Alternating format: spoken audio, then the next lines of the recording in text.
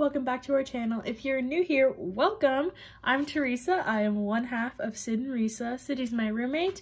If you're seeing this video, you most likely saw um, some of our quarantine series videos that I've been busy editing the past couple days. Syd and I were quarantined about two weeks ago, so I've been trying to get those videos uploaded to kind of get you guys up to speed with what's going on in our lives. Um, so I thought it'd be kind of fun to kind of show you guys the process I have with editing and uploading our videos. So I think we should just get right into it. Since there are two of us who share this channel, the first task I need to do is gather up all the clips that Sydney and I have filmed for the particular day for which I'm editing for so I will go through Syd's messages to me and save them to an album in my camera roll to make sure that all the clips I need are together. Here, I am taking the clips from the album I created and plugging them into iMovie so I can start piecing them together and make sure that they're all in the order from that day.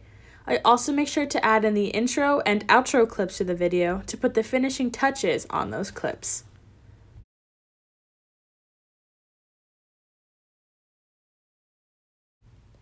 After I finish adding some extra elements onto the video, such as voiceovers, music, zoom ins, or our infamous peace sign count, I'll go ahead and upload the video to our channel.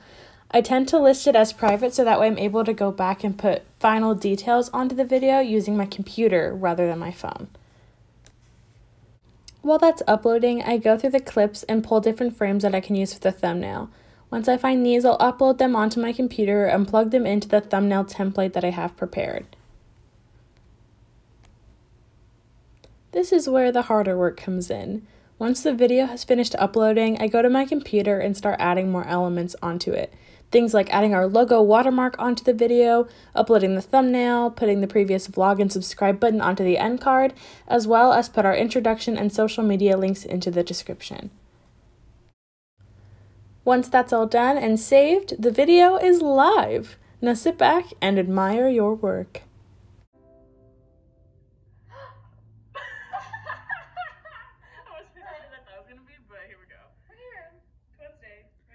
That is how I edit our Syd and Reesa videos. Be sure to like and subscribe and comment down below if you have any questions about my process or want me to share any tips and tricks that I have on editing videos with you. Um, but I hope you all enjoyed the video and it was informative. But for now, I'll see you in the next vlog.